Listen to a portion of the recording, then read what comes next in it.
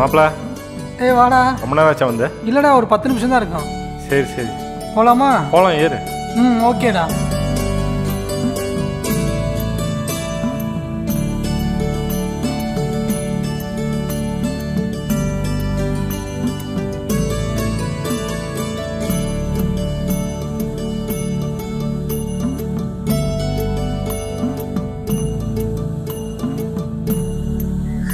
தலைவரே ஏய், வணக்கம். வணக்கம். வாங்க வாங்க வாங்க. என்ன கூட்டமாக நின்று பேசிட்டு இருக்கீங்க? ஒரு முக்கியமான விஷயம் தம்பி அதான் கூடி பேசிட்டு இருக்கோம். தம்பி யாருங்க? புதுசா இருக்காப்புல ஃப்ரெண்டுங்க தலைவரே மதுரையிலேருந்து வந்திருக்காரு. ஓ வாங்க வாங்க வாங்க. அப்புறம் தம்பி நம்ம ராமசாமி இருக்கார்ல அவர் வீட்டில் வெள்ளக்குடி ஏற்றிருக்காங்க ஷோ நல்ல மனுஷனாச்சு அவரு. ஆமாப்பா.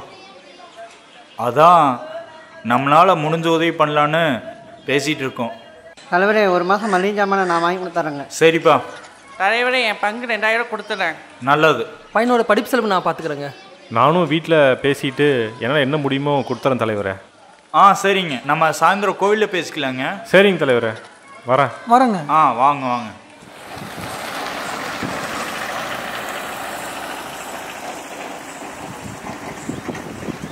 போலாமா மாப்பிள? ஆ போகலாம்டா மாப்பிள எனக்கு ஒரு சந்தேகம். சொல்லு.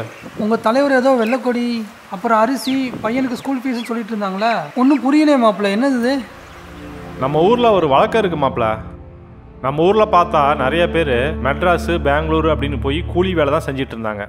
இப்போ இந்த கொரோனா லாக்டவுன் வந்ததுக்கப்புறம் நிறைய பேருக்கு வேலை இல்லாமல் திருப்பி நம்ம ஊருக்கே வந்துட்டாங்க.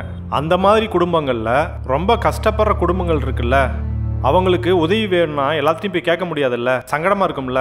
அதனால என்ன பண்ணுவாங்கன்னா அவங்க வீட்டு வாசல்ல ஒரு வெள்ளைக்குடி வைப்பாங்க. அதை பார்த்து நாங்கள் ஊர்க்காரங்கெல்லாம் புரிஞ்சுக்கிட்டு எங்களால் என்ன முடியுமோ அந்த உதவியை பண்ணி அந்த குடும்பத்தை எப்படியாவது காப்பாற்றிடுவோம் நல்ல விஷயம்தான் மாப்பிள ஆனால் யாரோ ஒருத்தர் வெள்ளைக்கொடி வச்சு ஏமாற்றி காசு வாங்கினா என்ன பண்ணுவீங்க? எங்கள் ஊரை பொறுத்த வரைக்கும் எந்த குடும்பமும் கஷ்டப்படக்கூடாது அப்படிங்கிற ஒரு நோக்கத்தோட தான் இந்த வழக்கத்தை வச்சுருக்கோம். இது வரைக்கும் யாரும் அப்படி ஏமாத்தினதும் இல்லை. அதனால் நாங்களும் உதவி செய்கிறதுக்கு தயங்கினதும் இல்லை. கடந்து போகும் எதுவும் கடந்து போகும்.